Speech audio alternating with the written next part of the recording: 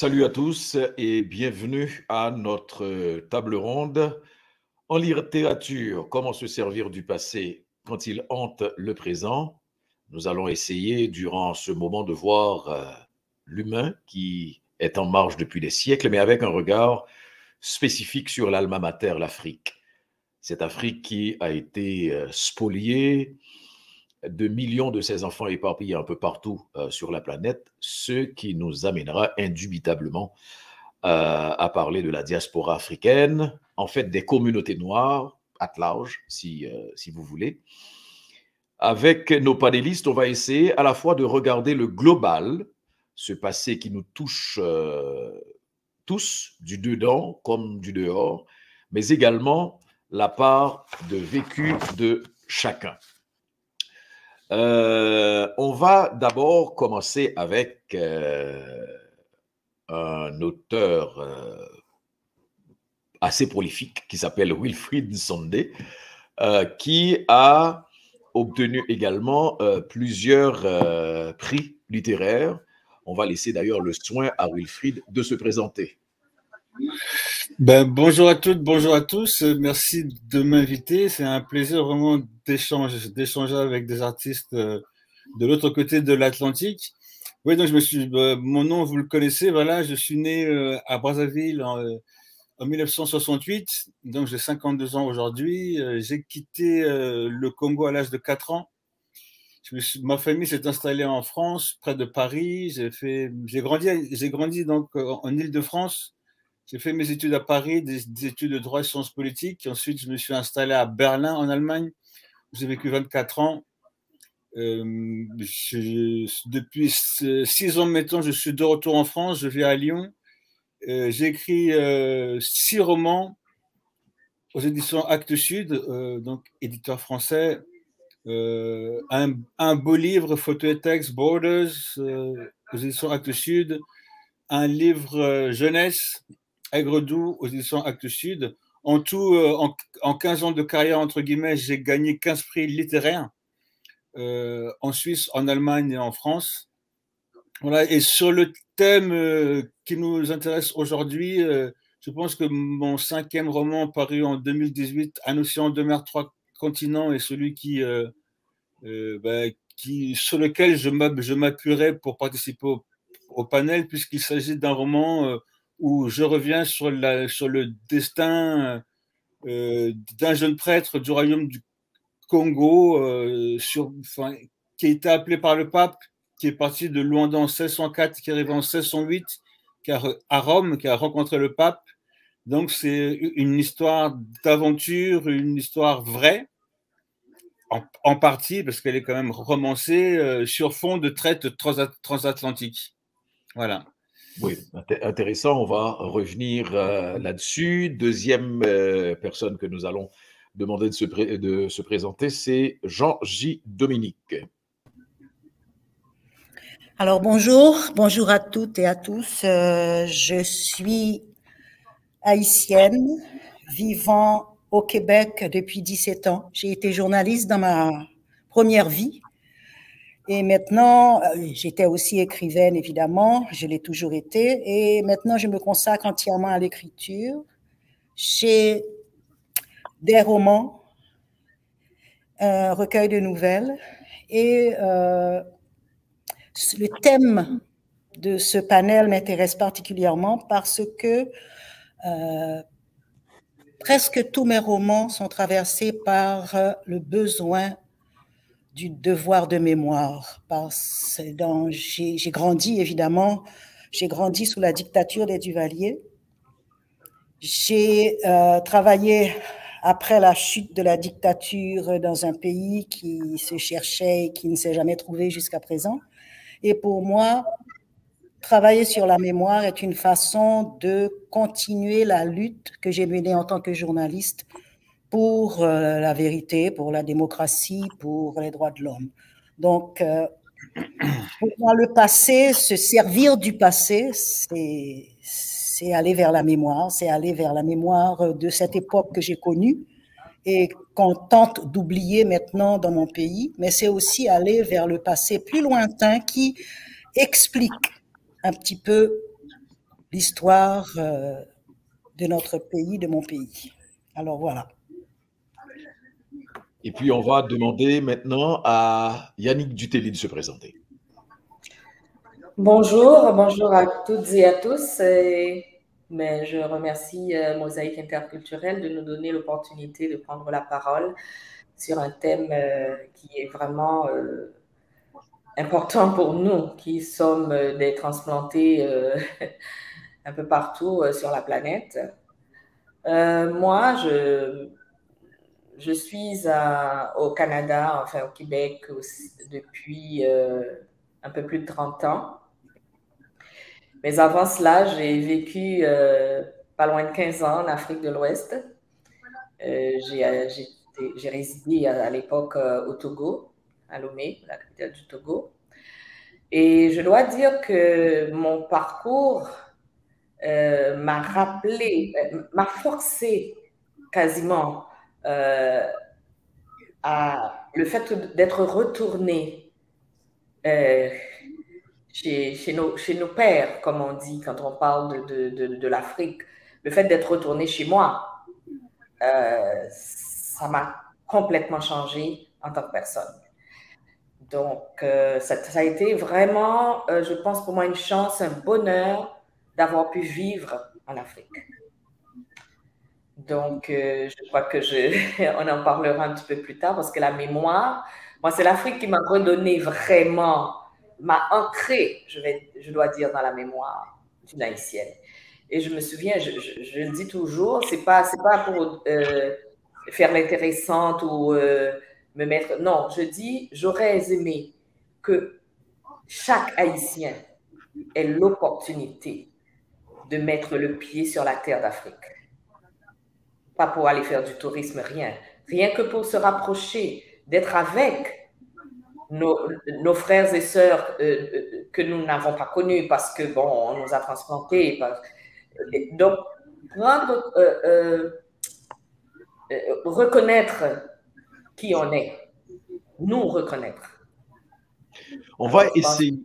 Oui, on va essayer euh, de revenir à, un certain moment. On va aussi se poser des questions sur, euh, en dehors du public, mais entre nous, pour essayer d'aborder la question, pour donner une dimension la plus large possible à ce thème euh, que nous abordons aujourd'hui. Je rappelle, euh, dans le cadre euh, de ce salon du livre, on aborde la question de la littérature, comment se servir du passé quand il hante le présent.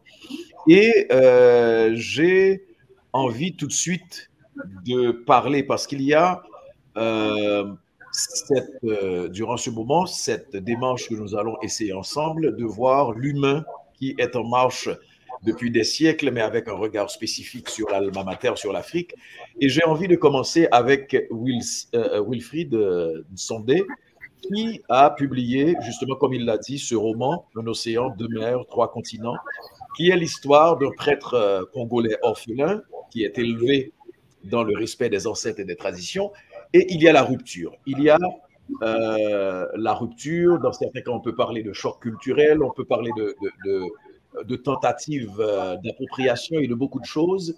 D'abord, je laisse euh, Wilfried euh, nous situer dans sa démarche et sa compréhension du thème d'aujourd'hui. Ok, d'abord, j'aimerais préciser plusieurs, plusieurs choses. Si j'ai écrit ce roman, c'est, comment dire, c'est pas parce que je considère que le passé entre le présent, c'est parce que je pense qu'il faut réfléchir sur le passé pour construire l'avenir. Mhm. Ah, c'est très important. Souvent, quand je dédicace le livre, j'écris une voix d'hier pour réconcilier aujourd'hui.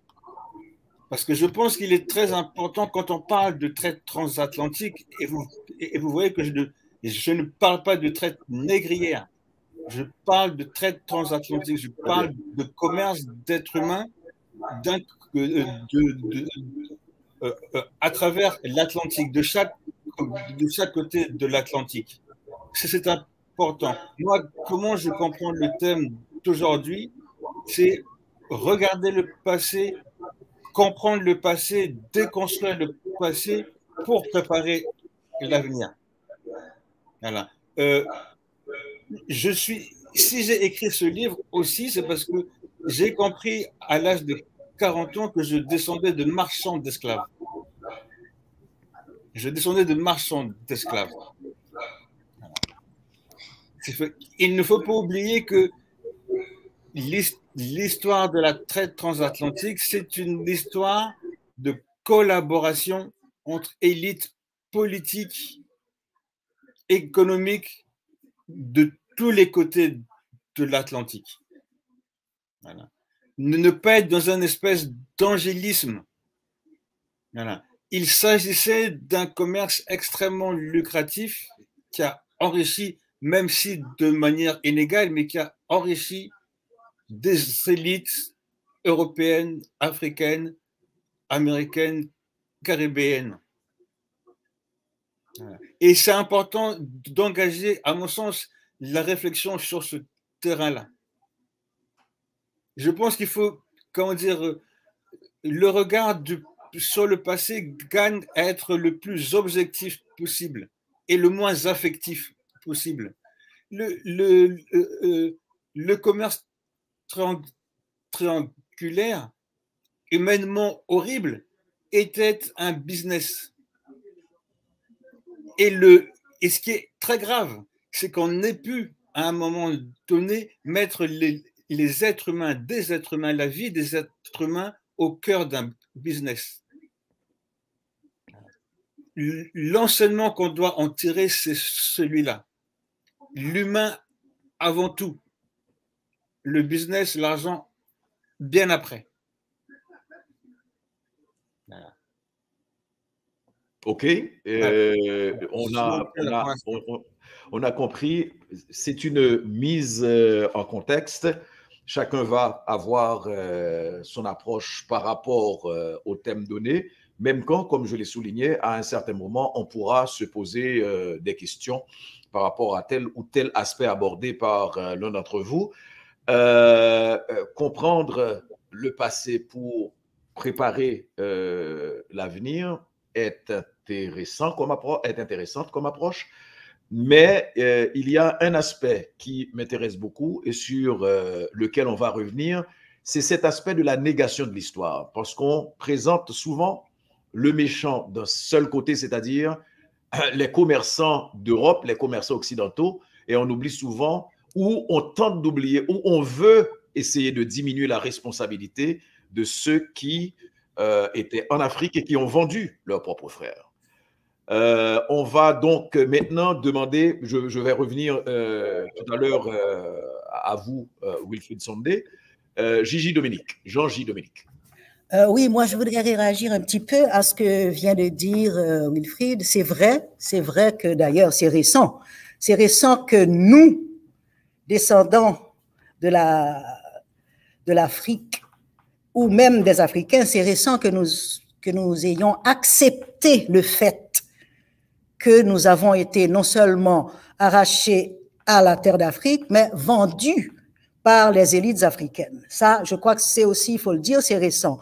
Cependant, euh, j'ai tendance un petit peu à vouloir dire que c'est les élites, qu'elles soient d'un côté ou de l'autre, n'empêchent pas que cette histoire, donc ce passé, il est lourd pour nous. Je parle en tant qu'haïtienne. C'est très récent en Haïti que des créateurs, que des artistes, que ce soit peintres, écrivains, hommes de théâtre, se penchent sur le passé de la traite. C'est très récent. Évidemment, récent, ça peut être 20 ans, ça peut être... Mais longtemps, nous avons voulu oublier. Nous avons écrit sur la grande geste des héros de l'indépendance. Nous avons écrit sur le, misérabilisme des pauvres qui n'arrivaient pas à s'en sortir. Bref, nous avons eu toutes sortes de thèmes importants, bien sûr, mais qui occultaient l'esclavage. Il existe très peu de textes, à part ceux des historiens, qui même là sont parfois un petit peu euh, ont de la difficulté à, à, à, dire les choses clairement. Il existe très peu de textes en littérature qui s'intéressent à cette histoire-là, à ce passé-là. Donc, c'est pourquoi le thème m'avait semblé intéressant, se servir du passé quand il hante le présent. C'est vrai que, comme Wilfried dit, il faut, il faut penser à l'avenir, mais le problème, c'est qu'il nous hante encore, ce passé-là. Nous, Haïtiens, entre autres, je parle de ce que je connais, nous, Haïtiens, ce passé nous hante encore parce que nous n'arrivons pas jusqu'à aujourd'hui à, le mettre en mots, à le mettre en mots, à le mettre en image, à le mettre en, film. Tiens, c'est très, c'est très rare qu'on y arrive. C'est ce que je voulais indiquer.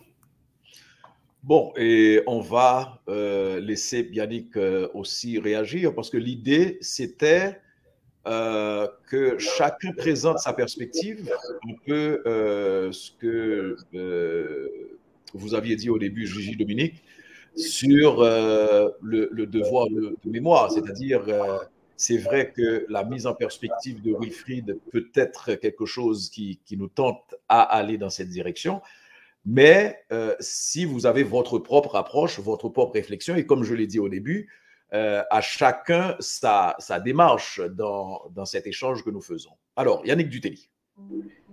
Merci de me donner la parole. Moi, euh, je vois deux passés qui nous hantent. Les Haïtiens d'aujourd'hui, les Haïtiens de cette génération. Nous avons deux passés qui nous hantent. D'abord, j'aurais tendance à dire, euh, c'est pas pour, pour contredire euh, Wilfried ou les personnes qui pensent que, euh, pas que les personnes qui pensent, c'est un fait que, que, les élites africaines ont vendu euh, les, les, les, trésors de guerre. les humains ont été considérés comme des butins de guerre qui ont été vendus, n'est-ce pas? Mais je me dis, s'il n'y a pas de client, à qui on vend? à qui on vend? Parce qu'il faut d'abord avoir un client pour vendre. Donc, moi, j'aurais je tendance à vraiment appuyer sur le client. Je, donc, ça, c'est une première chose. C'est ce mm. premier aspect du passé qui nous hante encore. Et moi, pour avoir vécu, je me suis reconnue quand j'ai vécu en Afrique. Alors, toutes les autres, toutes les autres personnes qui n'ont pas, fait partie de l'élite, eux, ils ont subi. Et c'est ce qui arrive souvent dans nos pays. Les élites font des choses et le reste subit. Moi, je suis avec le, reste. Je, je, ne refuse pas de condamner les élites qui l'ont fait. C'est pas ça que je dis. Ce que je dis, ils avaient un bon client, donc ils ont fait un commerce. Donc, et moi, je ne voudrais surtout pas que ce passé-là euh, me porte à, en vouloir à Wilfried. Hmm. Bon, il y a. Euh, excuse-moi, j'ai dit deux aspects. Le deuxième aspect. Pour nos autres Haïtiens, le deuxième aspect, c'est les conséquences de l'esclavage chez nous. Hmm. On nous a lavé le cerveau parce que je, je pense que peut-être jusqu'à présent, en Haïti, un petit noir et un petit rouge, ce n'est pas la même affaire. Nous avons gardé des séquelles, des scories de cette histoire d'esclavage sur la façon de penser, la façon même d'avoir nos, canons de beauté, la façon d'avoir, euh, euh, de, savoir ce qui est beau, ce qui est moins, ce qui ne l'est pas. Mm. Et ça, je crois que cet aspect-là aussi, il faut qu'on en parle. On va, on, va commencer par euh, la, première, la première question et que sur euh, le fait qu'il n'y ait pas, qu'il pourrait pas avoir de commerce s'il n'y avait pas de demandeurs, s'il n'y avait pas d'acheteurs. Bon, on, dirait aussi, euh, on pourrait inverser la question, il n'y aurait peut-être pas eu de commerce s'il n'y avait pas eu de vendeurs. Euh, donc, ce sont les deux, les acheteurs et les vendeurs.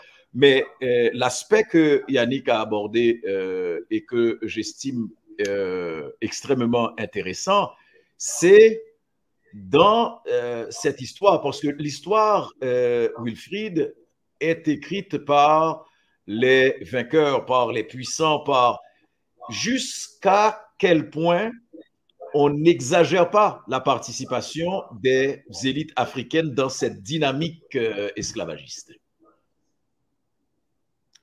Micro, micro. Ouais, micro, voilà. Oui, oui, non, mais c'est que, alors, pour écrire ce roman Un océan de mar trois continents, j'ai quand même fait quatre ans de recherche historique parce que je savais qu'il ne fallait pas que je me trompe.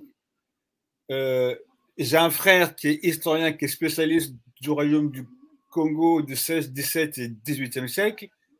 Et aussi, je suis, comment dire, je, je, euh, je suis né, je ne suis pas Congo, je ne suis pas congolais, je suis Mukongo, du peuple de Bakongo. Hmm? Et c'est quoi la euh, différence? ben, La différence, c'est que le, le Congolais est une, est une production coloniale. OK. Voilà, on trouve des bas, des au nord de l'Angola, au sud-est de la République démocratique du Congo, au sud du Congo-Brazzaville, au Gabon aussi, en Haïti, au Venezuela, de, en Guadeloupe, en Martinique, en France, enfin partout.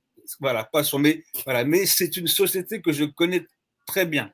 Très bien. Et Yannick, malheureuse, malheureusement, la société des Bas Congo, en tout cas euh, dès la formation du royaume du Congo au XIIIe siècle, était une société esclavagiste, dans le sens où il y avait des, comment dire, il y avait certains, certains, certaines femmes, certains hommes, certains enfants avaient un statut inférieur aux autres, ils étaient inféodés aux d'autres, à d'autres, ils étaient la propriété d'autres. Mhm. Voilà. Et, et, vous savez, l'esclavage est un phénomène qu'on a retrouvé sur tous les continents. Ce n'est pas une question d'Africains, d'Amérindiens, d'Européens. C'est une manière de, concevoir et d'organiser l'humain. Donc, les Africains, qui, sont, des êtres humains comme les autres, n'ont pas attendu les Européens pour avoir des esclaves dans leur société. Et ce sont pas des prisonniers de guerre, c'était lisez un océan de mar trois continents. Il existe au Québec, il est édité au Québec par mémoire d'Encrier. Je fais tout un travail d'explication historique comment les structures sociétales des bas, des ont finalement produit des, euh, esclaves. Et ce sont ces gens-là qui ont été en premier vendus aux Portugais. Et ensuite, quand vous, quand vous comprenez que euh, la, la, valeur d'un homme, on appelait ça un mâle, un jeune mâle, un jeune mâle rapportait l'équivalent de deux ans de salaire d'un matelot. Donc on peut considérer quelqu'un qui était payé au salaire minimum de l'époque. Deux ans de salaire minimum c'est rare de trouver quand même des êtres humains qui, qui, sont, qui sont assez scrupuleux pour ne pas entrer dans un business où il suffit de capturer un homme, de l'attacher, de le vendre à d'autres, et vous avez touché en, une fois deux ans de salaire minimum. Regardez aujourd'hui les, migrants qui errent en Méditerranée effectivement, s'il y avait des, des clients pour les acheter, ah, mais vous trouverez des gens de partout pour faire le commerce. Voilà. Il s'agit là de cupidité humaine. Et, Pierre-Emmanuel, quand vous dites oui, euh, les Africains ont vendu leurs frères, hmm. dans la correspondance des rois du Congo avec les rois du Portugal sur deux siècles, hmm. les lettres commencent par mon frère bien-aimé. Le roi du Congo appelait le roi du Portugal mon frère bien-aimé. Le roi du Portugal appelait le roi du Congo mon frère bien-aimé. Ça veut dire quoi? Le roi du Congo considérait le roi du Portugal comme son frère, mais les gens qu'il vendait, il, mhm. les considérait comme des choses. Parce que la fraternité de couleur de peau, elle a été inventée par par la traite transatlantique. Absolument. Mais, mais au départ, il, n'y a pas du tout de fraternité de couleur de peau. Mhm.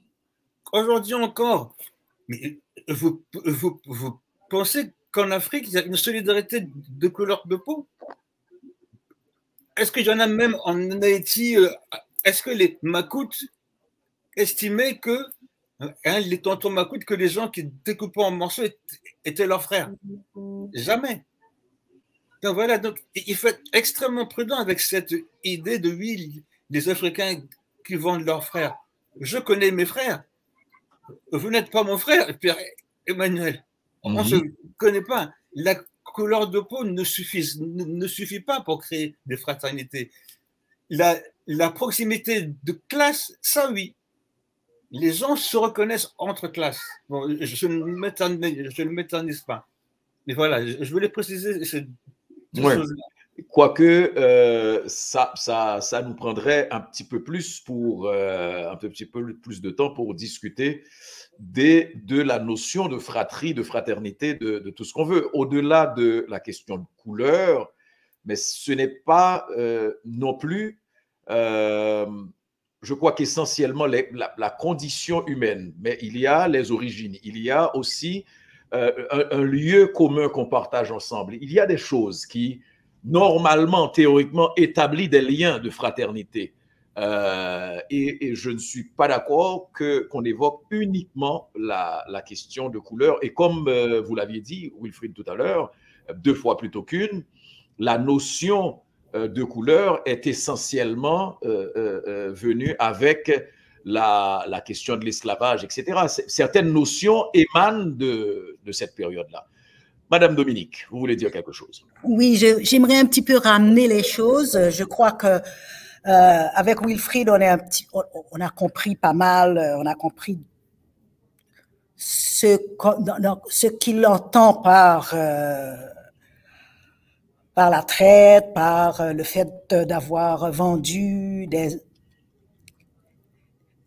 des, hommes de classe inférieure. Bref, je crois que tout ça, pour moi, c'est assez, c'est assez clair. Ce que j'aimerais maintenant, c'est qu'on revienne un petit peu sur euh, la notion de se servir du passé. Moi, ça me, ça me travaille un peu parce que je ne suis pas sûre que se servir du passé sera la même chose qu'avoir euh, euh, la conscience d'un devoir de mémoire. Parce que quand moi, je pense au passé, au passé récent, c'est-à-dire euh, les 50 ou 60 ou 80 dernières années, ou quand je pense au passé d'Haïti qui remonte euh, au 15e siècle, pour moi, c'est parler de ce passé, faire appel à ce passé pour comprendre des choses, pour même me projeter dans le futur, pour moi, c'est pas se servir. J'ai toujours un,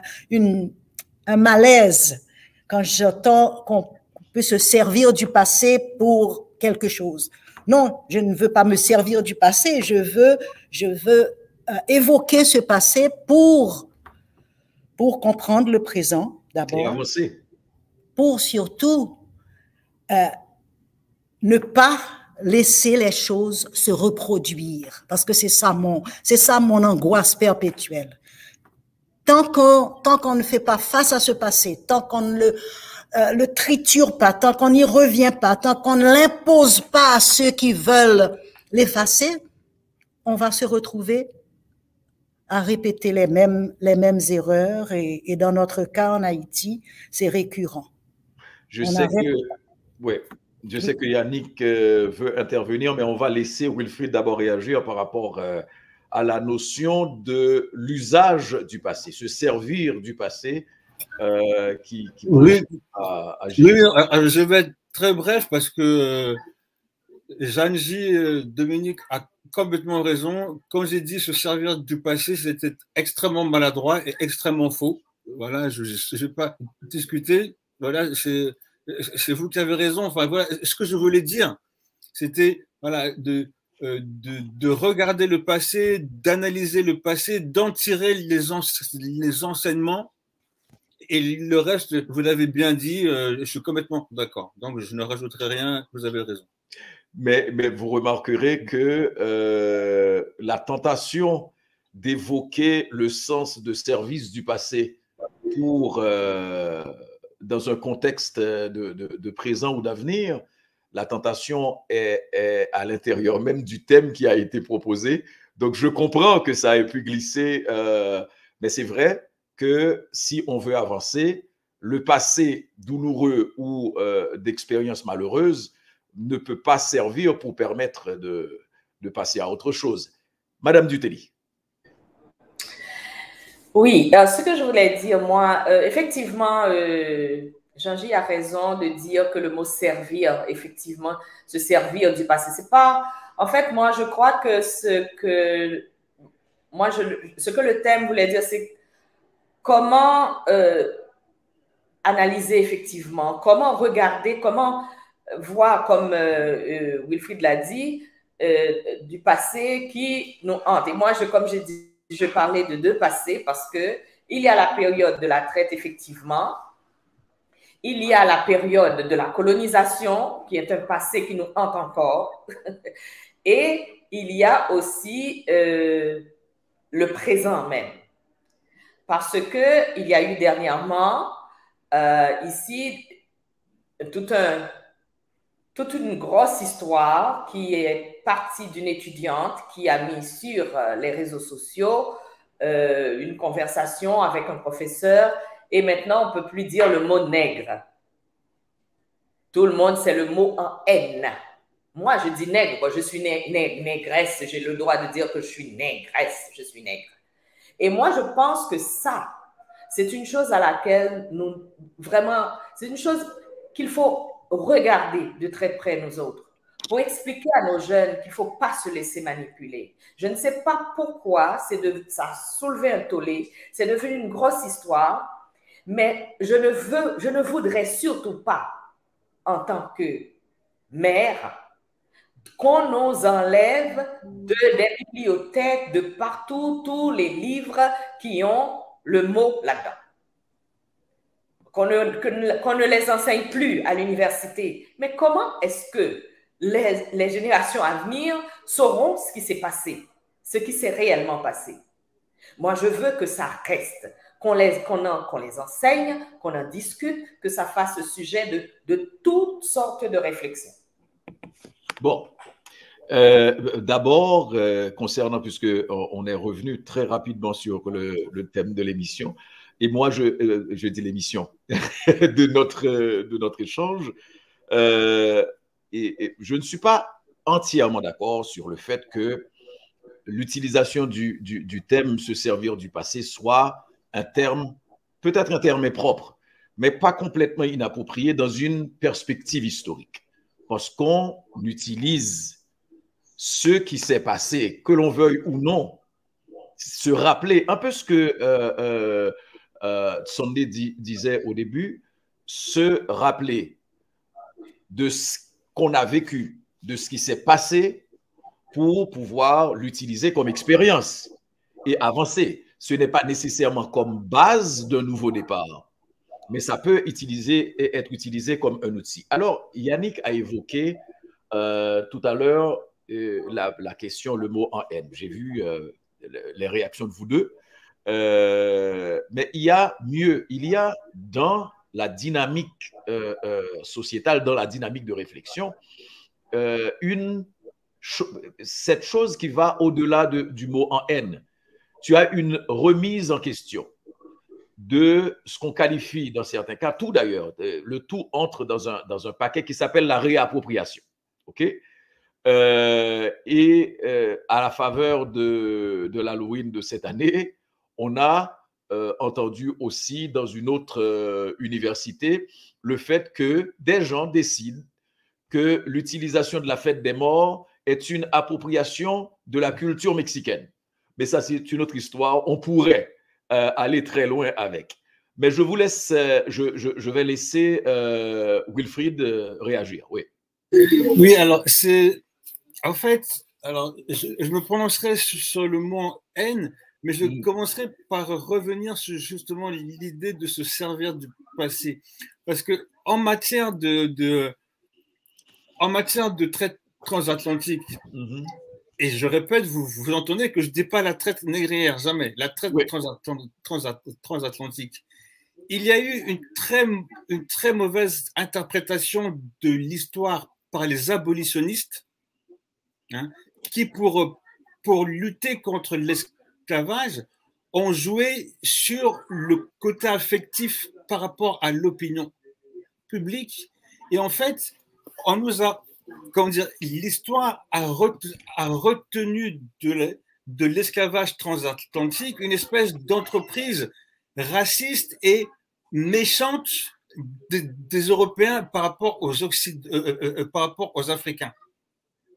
Et donc, c'est comme si comment dire, la fin de l'esclavage, c'était presque un service qu'on a rendu par, par amitié, par compassion, par pitié aux, aux Africains et aux Caribéens, aux Afro-Américains, et ainsi de suite.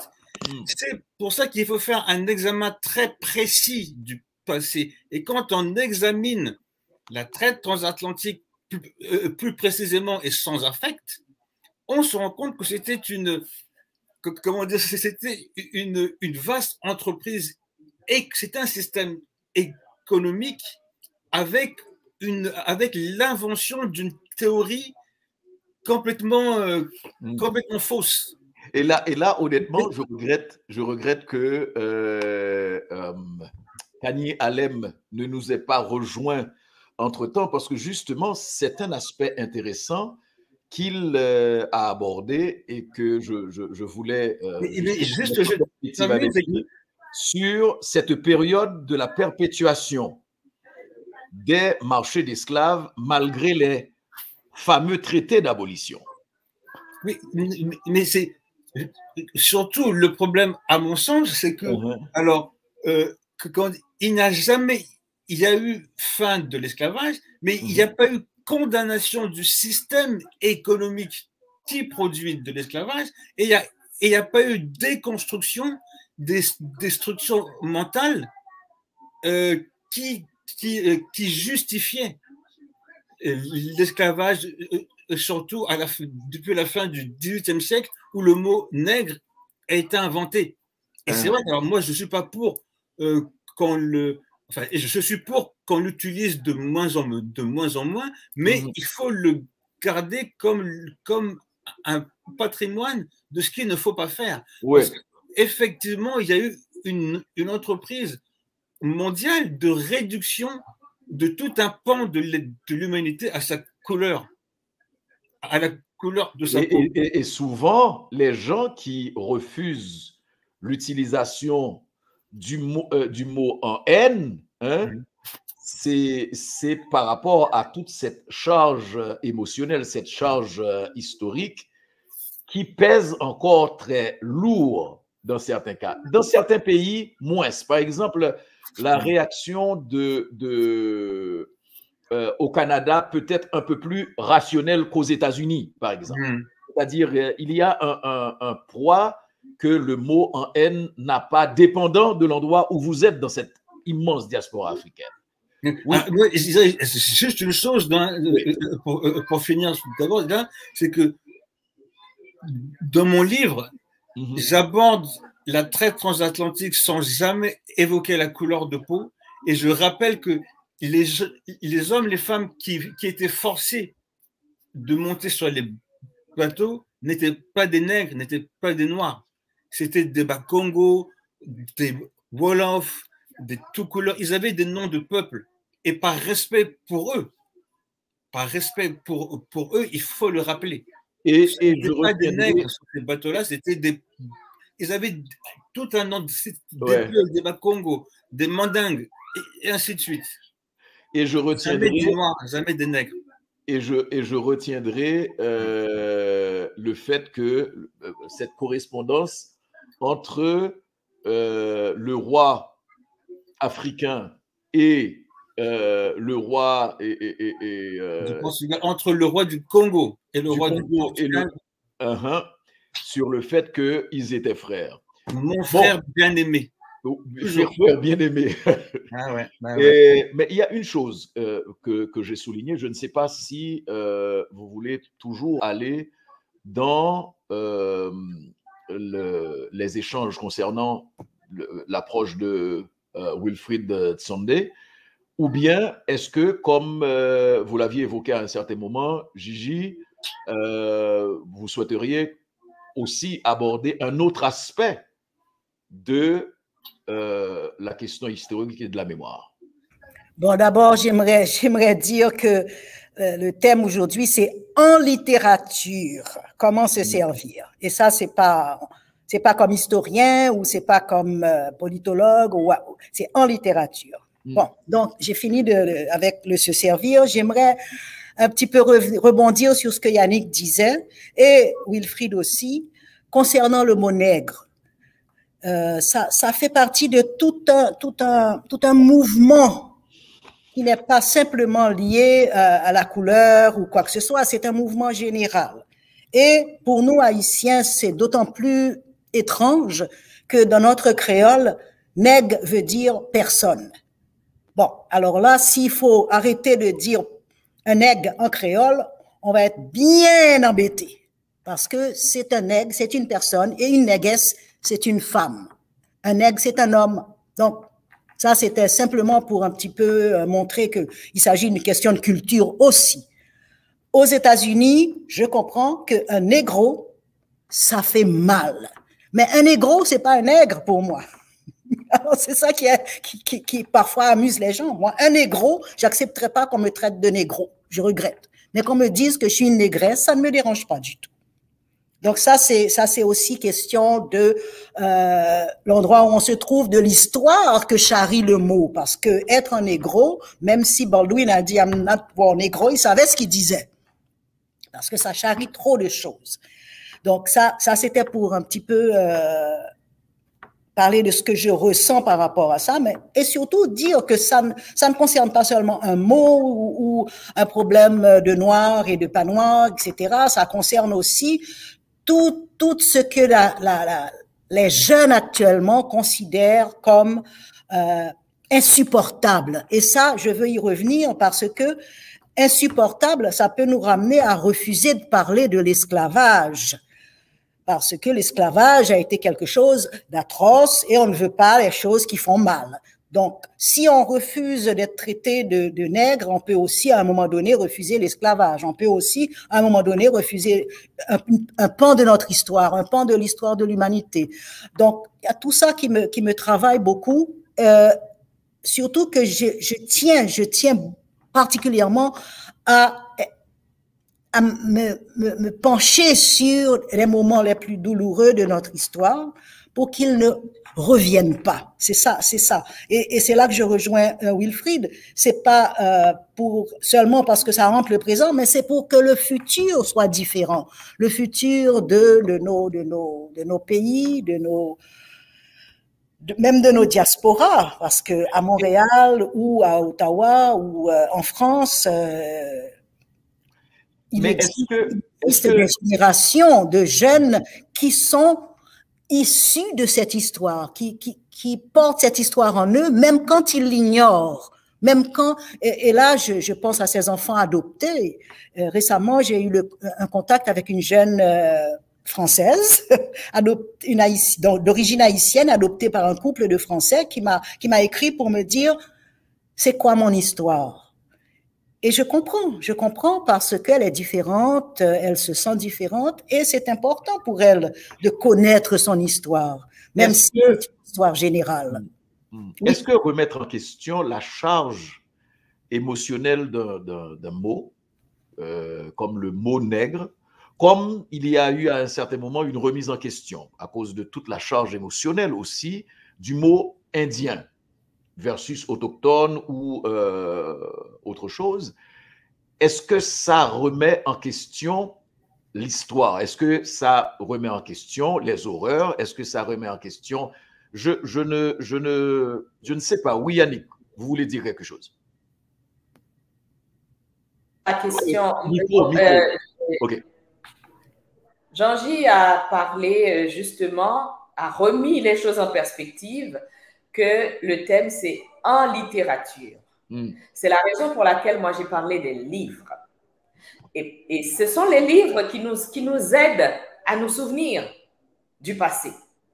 Donc, vouloir occulter, parce que moi, ce qui m'avait effrayé, parce que je, je, je, parlais, je disais que ça, ça hante encore le présent de cette manière-là, et je disais que je parlais de nos, de nos jeunes, des générations futures. Donc, moi aussi, je, je pense au futur. Je me dis, si on retire de l'enseignement de la littérature tout ce qui a ce mot là-dedans, moi, je, je, je sais qu'on a fait une liste de livres, même avec le titre, dans le titre, il y a le mot, on va les enlever. Mais mon Dieu, qu'est-ce qu'il va rester? C'est déjà arrivé avec Agatha Christie.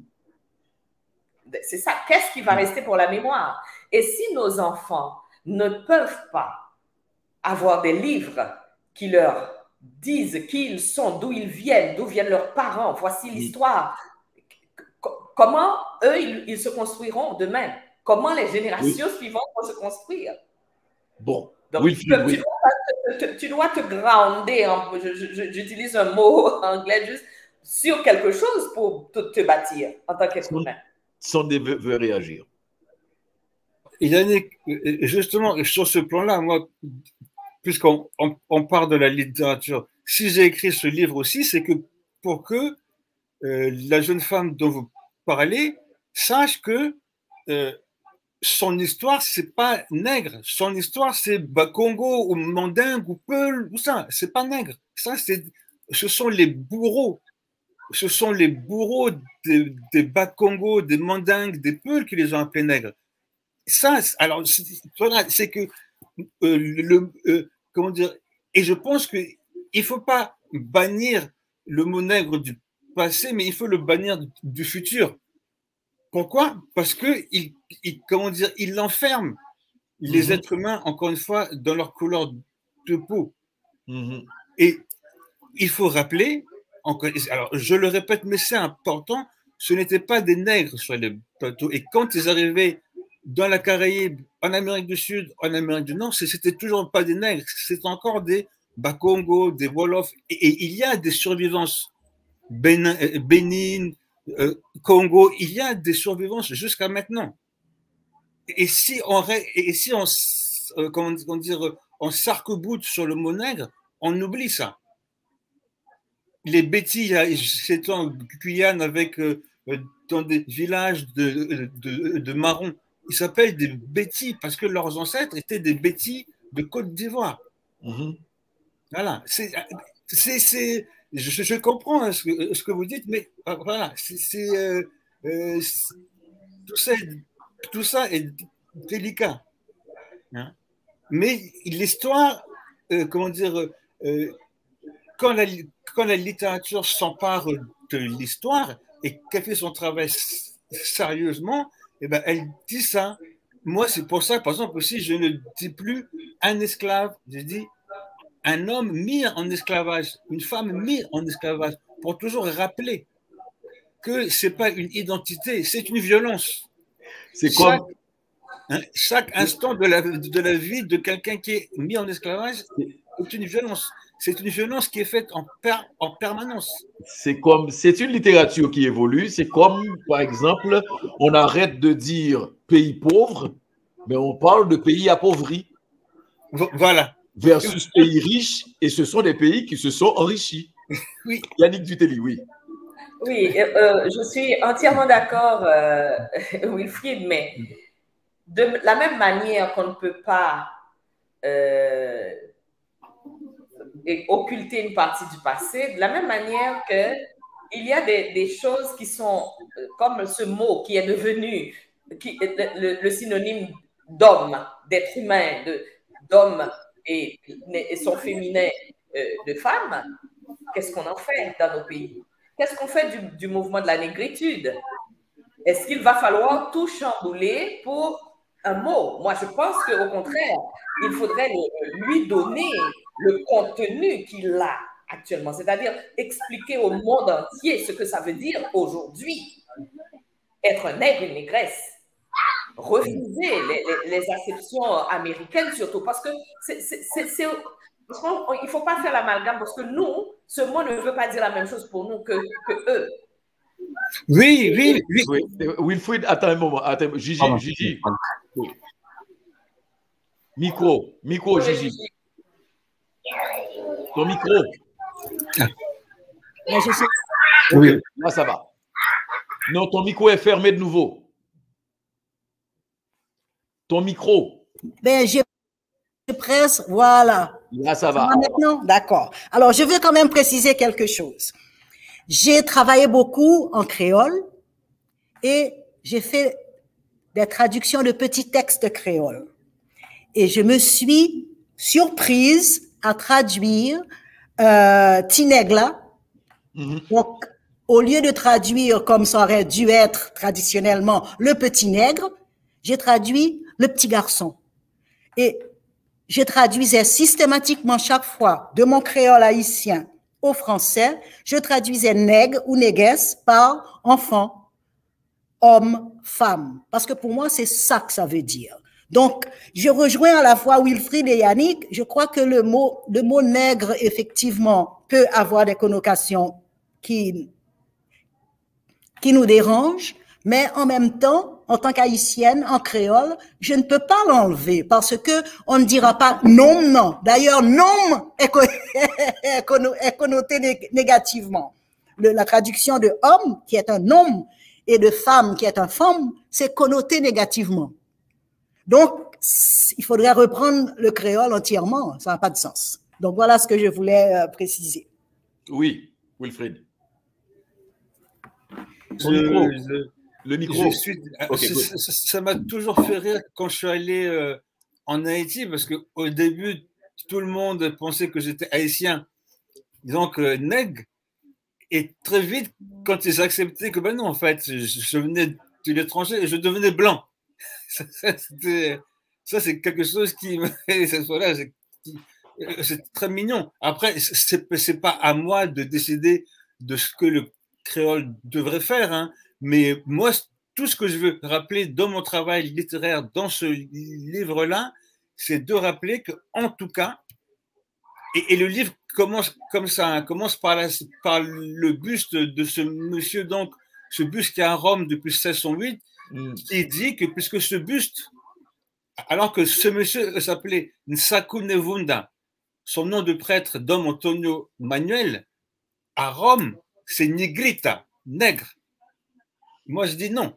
Son hmm. nom, c'était Nsaku Nevunda, son nom de prêtre, Dom Antonio Manuel, et maintenant, il, raconte son histoire parce qu'il ne veut pas qu'on le réduise à la couleur de sa peau.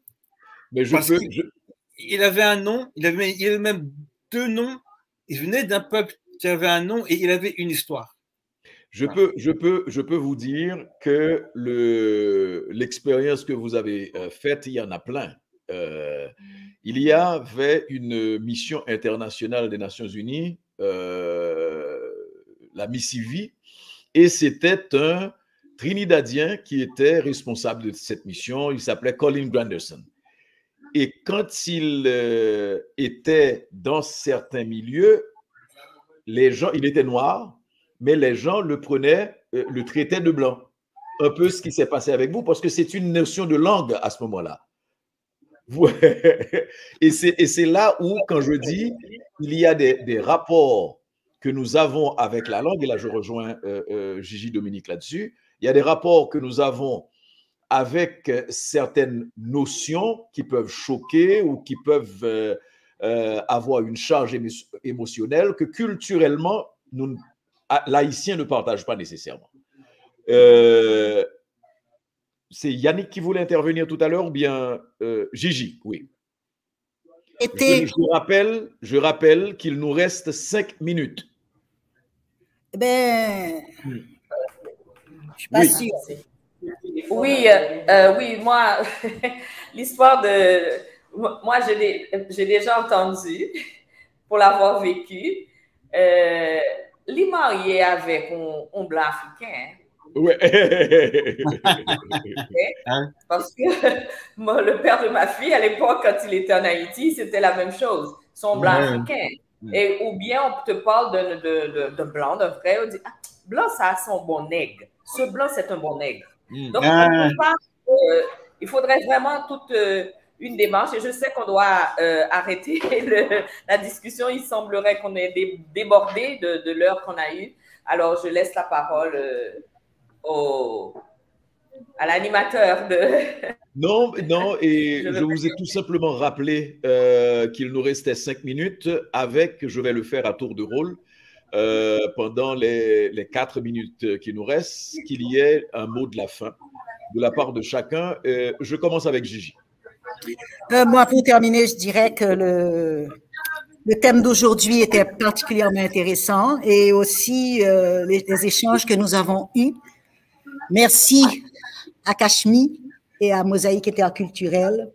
On va continuer. Moi, je vais continuer à travailler sur la mémoire et sur le passé. Yannick.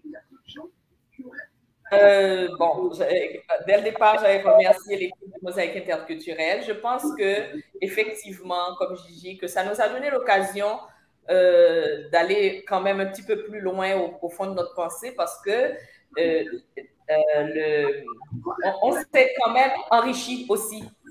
Euh, les propos de Wilfried m'ont permis de voir complètement d'autres aspects, de retourner là-dedans, de les voir d'une autre manière, de les penser autrement. Et puis, euh, je pense que ça a été un échange très enrichissant. Moi, je, dirais, pour finir, j'ai aimé la discussion, vraiment l'échange. Et j'invite vraiment les artistes, les écrivaines, les écrivains à travailler comme je l'ai fait sur la première période de la traite transatlantique, euh, du XVIe siècle jusqu'au milieu du XVIIIe siècle. Pourquoi? Parce que c'est une période où les théories de la race n'existent pas encore. Et c'est très intéressant, c'est un peu l'embryon. L'embryon de la traite transatlantique nous renseigne beaucoup sur ce que c'était. Euh, parce que ensuite, la question de la race a masqué ce qui était vraiment la pensée et la pratique esclavagiste. Merci. Voilà, euh, merci à vous d'avoir été là, d'avoir répondu à cette invitation de Mosaïque interculturelle. C'est dans le cadre, je le rappelle, du Salon du livre afro-canadien. Le thème aujourd'hui, c'était en littérature, comment se servir du passé quand il hante le présent. Et nos invités, c'était Yannick Dutelli, Jean-J. Dominique et Wilfried Nsondé. Passez une excellente journée. Merci beaucoup et à bientôt. Merci. Au revoir. Au revoir. Bye.